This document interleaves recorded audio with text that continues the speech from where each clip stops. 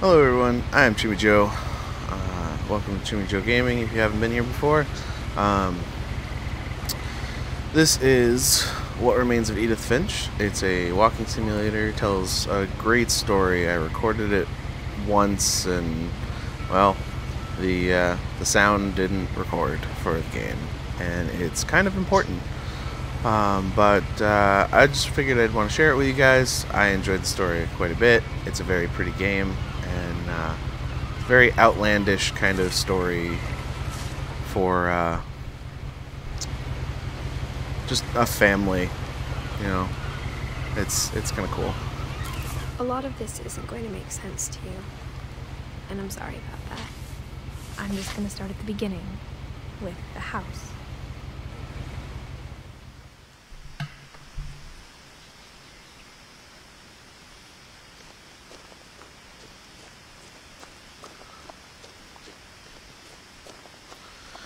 And uh, there's a I lot more. until I was 11, but I wasn't allowed inside half the rooms. There's a lot more effects when you have this, these uh, settings on ultra, but uh, my recording would uh, drop to like 30, 20 frame rates a second, and uh, I, I just, I wanted to have you guys experience this as much as possible, um, and nobody likes a jumpy frame rate. Inside the mailbox were bills from seven years ago, marked urgent, open immediately.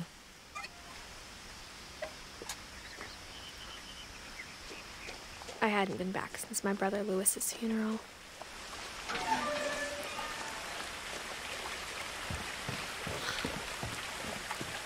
In her will, my mother left me a key but didn't tell me what it unlocked. Maybe she thought I'd know. Or she thought that the mystery would be enough to bring me back. Well, even when the settings turned down, it's still a little jumpy. Sorry about that.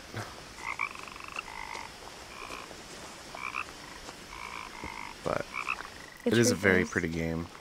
Even after I inherited the house, I never thought I'd come back to it.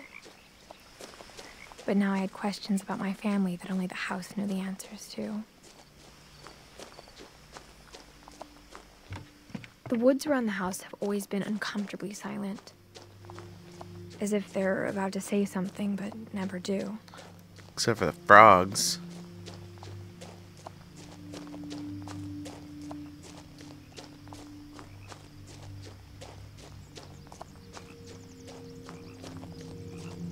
So there's actually two paths to come here. You can take the road, or like this is the road,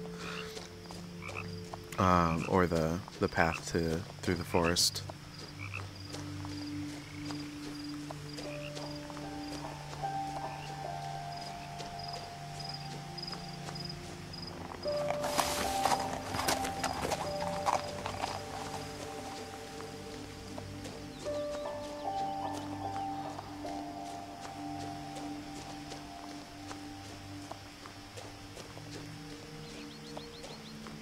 No one had driven this way in a long time, but I saw a few hoof prints.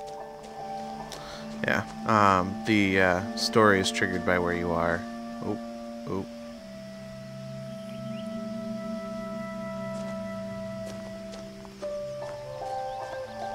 Yeah.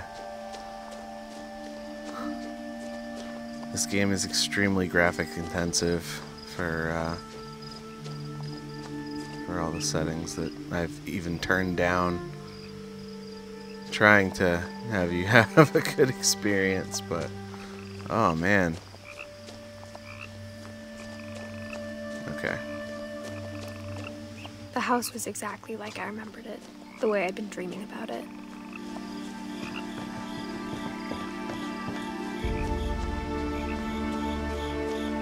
Soundtrack is also As a really child, nice here. the house made me uncomfortable in a way I couldn't put into words. Now, as a 17 year old, I knew exactly what those words were. I was afraid of the house.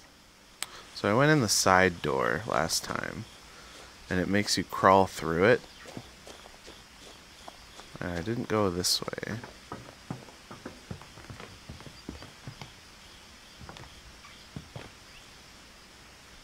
Hoped the key might unlock the front door. It didn't. Oh. Well. Looking in, I felt like the house itself had been waiting for me.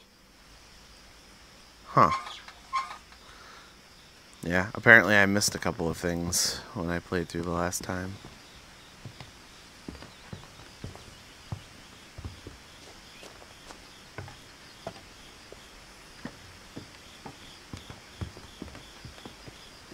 I asked Edie once about the dragon in the pond. She said it had killed her husband. I was six. It seemed like an odd joke to me, even then. Hmm. Yeah, it tells about that later. But yeah, I didn't even notice that before. I guess I should have uh, walked around more. Oh. No, never mind. That just goes back to the road. Gotta go this way.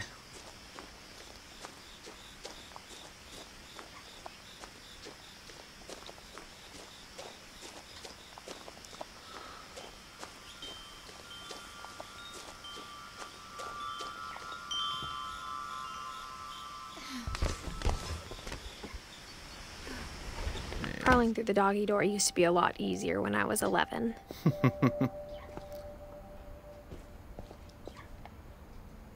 power had been turned off the night we left.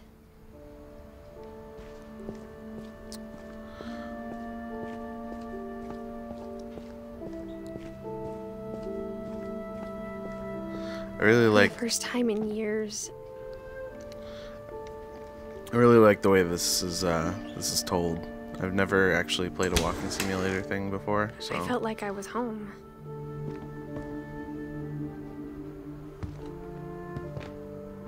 But instead of a family, there were just memories of one.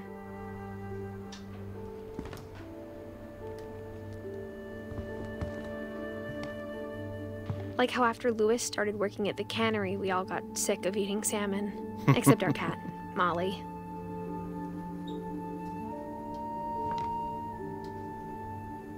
apple pie. Or how only one restaurant would deliver to our house. So we had Chinese a lot. Makes sense. Depending on how far the drive is.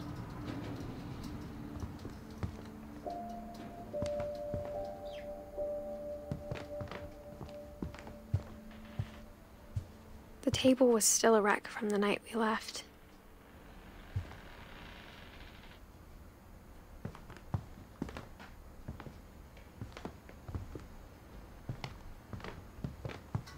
My mom was the only one of us who could imagine Great Grandma Edie living in a nursing home. It was like a bomb had gone off, killing everyone but sparing the furniture. Oh.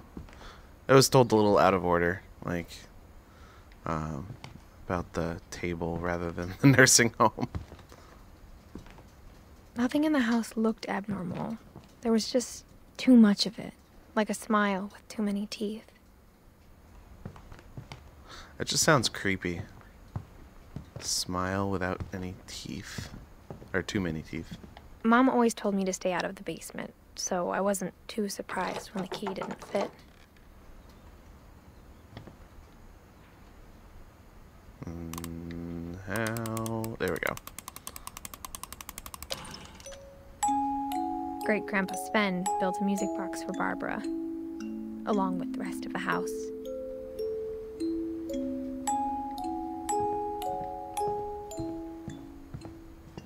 Lot of things got left behind in the whirlwind of that last night. And then there's these little peepholes to all the rooms that are boarded Edie boarded told up. me once that every Finch who ever lived is buried somewhere in the library. Which is kind of creepy. Why would you bury somebody in the library? My mom wasn't much of an optimist, but she never stopped believing that my brother Milton was alive. Um, were there any other peepholes that I missed? I don't think so. I think the rest of them are upstairs. After Milton disappeared, Mom sealed up all the bedrooms. Then Edie retaliated and drilled peepholes. Huh.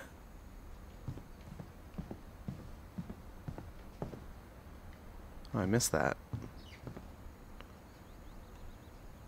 Oh, I never went upstairs. I don't think.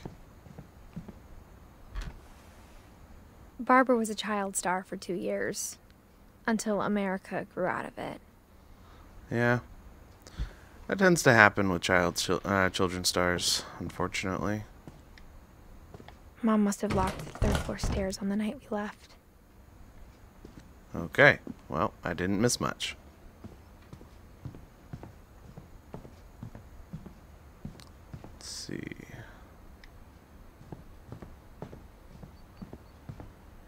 Calvin. My Grandpa Sam spent seven years sharing a room with his dead brother, Calvin.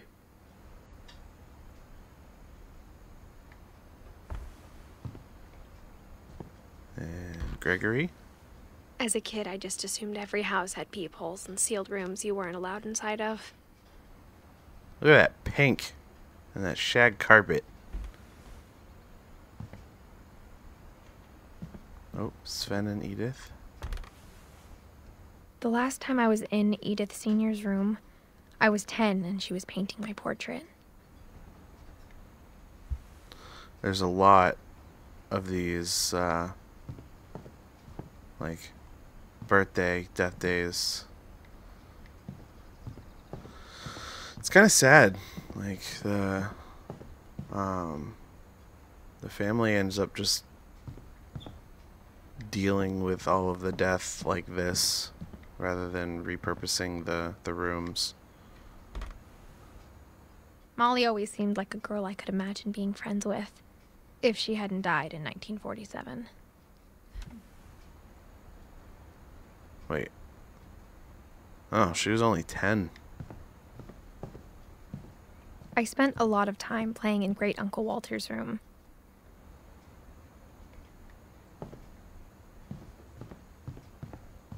Lewis told me there were secret passages, but I never believed him. I've always wanted a house with uh, secret passages. I think that would be really cool. Uh, Turns out, my mom was really good at keeping secrets. Now it was time to find out what my mom had been afraid of.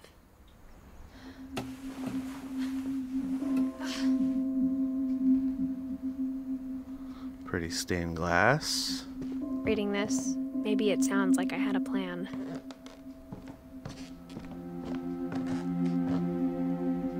But I had no idea what was behind that door. And we're in Molly's room, even though they're all boarded up. Just like I had no idea where all this was gonna lead. All these rooms are all connected by secret passageways. So, this is where I am going to leave off the first episode. If you are interested in watching the rest of it, I will have more up later. Thank you for watching, and like, comment, and subscribe if you have made it this far. Um, let me know what you think so far. Nothing weird has happened yet, but I assure you that this story gets much weirder. Um, but yeah, thanks for watching, and come back for more. Bye!